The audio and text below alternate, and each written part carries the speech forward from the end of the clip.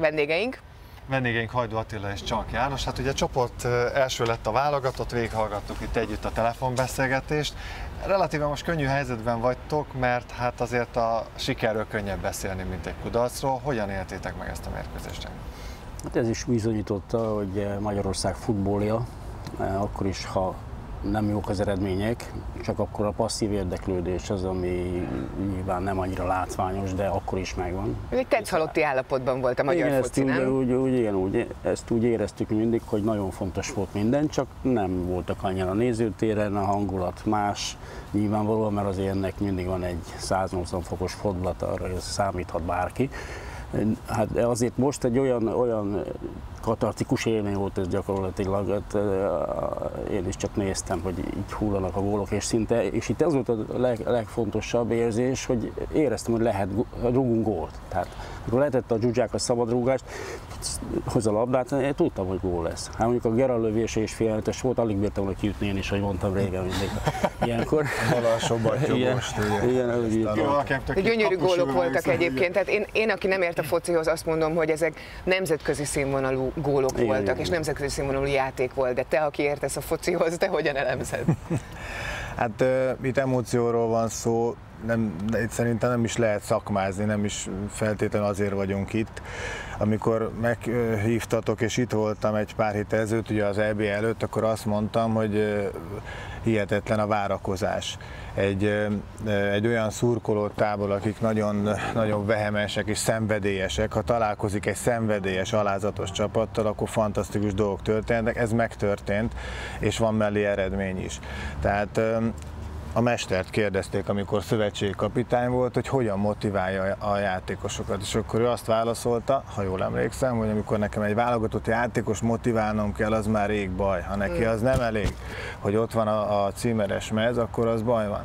És most ez történik. Tehát amikor Zsuzsák üvölti a magyar himnuszt, akkor már nem érdekel, hogy Buffon üvölti az Igen, olasz, mert eddig azt néztem, hogy, hogy Buffon hogy üvölti az olasz himnuszt.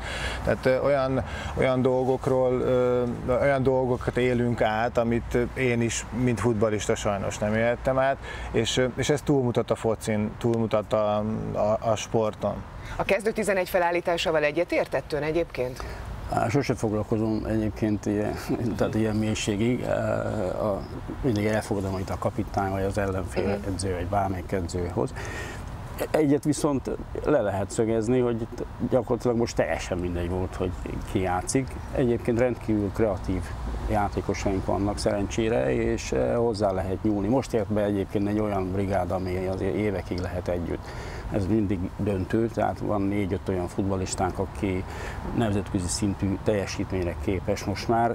Egy kicsit csalódtam én a- ezekben a profi futballistákban, nem a mieinkben, hanem az ellenfelekben, mert eh, mondjuk motivációban mi vagyunk a legjobbak e- a bajnokságon, ezt lehet érezni, mi az életünkkel játszunk, Eh, lehetett látni a norvégok kellene, az osztrákok kellene, azok hogy kis sétáltak ott az osztrákok. Egy De ez mitől van, amit most Ez Attila is nagyon mondott, ne- ez ilyen ország- ez most az egész országnak játékost Hát ezt, motiválni kell. Ö, na- nagyon sok, sok, sok Real Madrid mérkőzést élünk meg, BL mérkőzést. Az inger küszöbét ezeknek a nagy sztároknak azt kell, hogy mondjam, hogy nem nagyon éri el, amikor egy BL-be esetleg kiesik, hiszen játszik 60-65 mérkőzést ilyen szinten.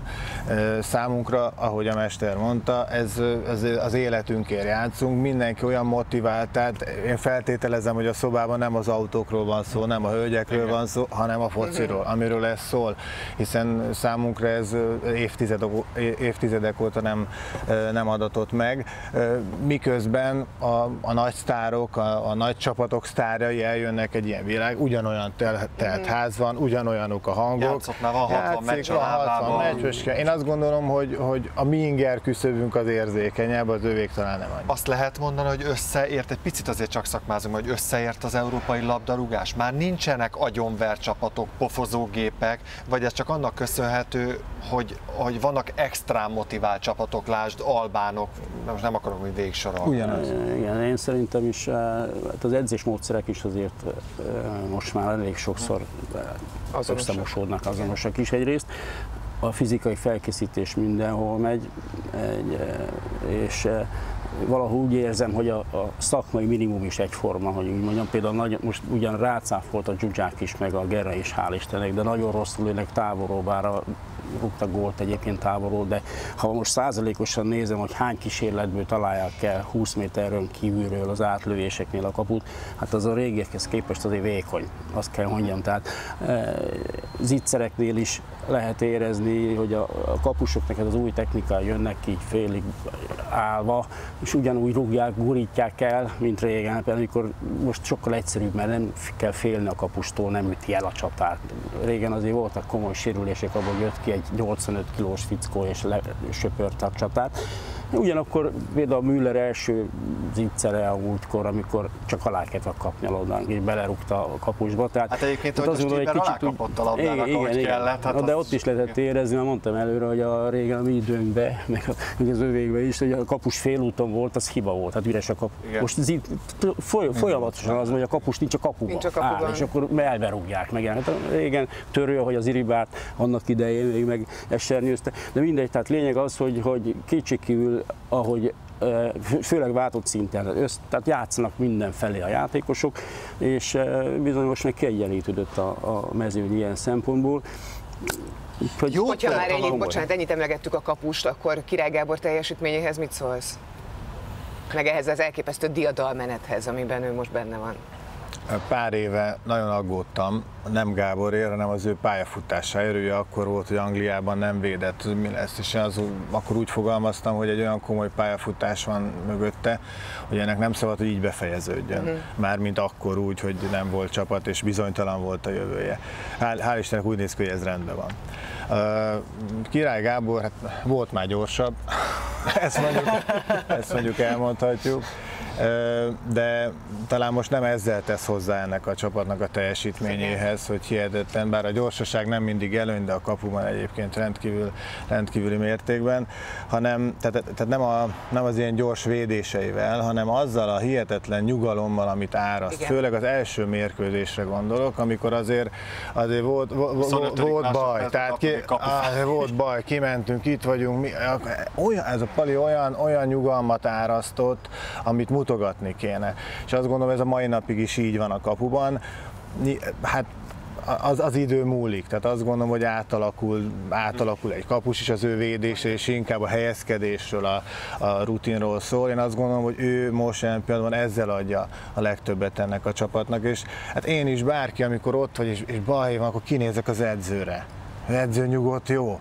Ha hátra, mert ott vannak a bekek, hátra nézzek a Gabi, jó, akkor menjünk Kulasz tovább. repül, Persze, de hogyha most ez tök ideges, meg látom, akkor nem jó. Tehát azt gondolom, hogy ez a, ez a legnagyobb dolog, ami miatt mellette szólt a választás, és amivel ő a legtöbbet tudja adni a csapat. Abban egyetetek csak egy gyors kérdés, hogy az, hogy az jót tett a labdarúgásnak, úgy amblok, hogy 24 csapatos lett az EB. Szerintem igen. Jó, hát nekünk mindenképpen jó tett, mert azért ezt hozzá kell tenni, hogy nem mindegy, hogy egy csoportból hány kerül tovább, nem csak már kint az ebén, hanem elég, oda kerülhetünk-e. És érdekes, hogy hát pont az előbb beszéltünk erről a kiegyenlítődésről, hogy néztem például az albánokat is, tök jól játszottak, hogy úgy mondjam, tehát meg volt még egy hát, pár ilyen mi nem csapat. Persze, harmadikként, igen, akkor igen. most nem vagyunk csoporteset, teljesen, és lásd Ausztria igen. meg megnyerte simán igen. a csoportját, kuka. Bocsánat, de... Hát, mondjuk annak ne, azt nem bánta, és egy kicsit nem, az euforikus Mostanában elébredt a határpisti. Hangulat, hangulatban egy kicsit úgy, lehet, hogy egy kicsit a politika is úgy belejátszik úgy valahol. Most az, hogy minket azért most migráns kérdés ide, minket azért úgy most Európába belgáktól kezdve gyűjtöttek mindenki valahol, és nem tudom, hogy azért is érzem a egységbe egy kicsit ezt a távort, hogy kimentünk, és mi egység, mi együtt vonulunk föl, nem úgy szanaszét jönnek kis csoportok, magyarok, Igen, ilyen, innen, hanem beállnak az utcára és vonulnak.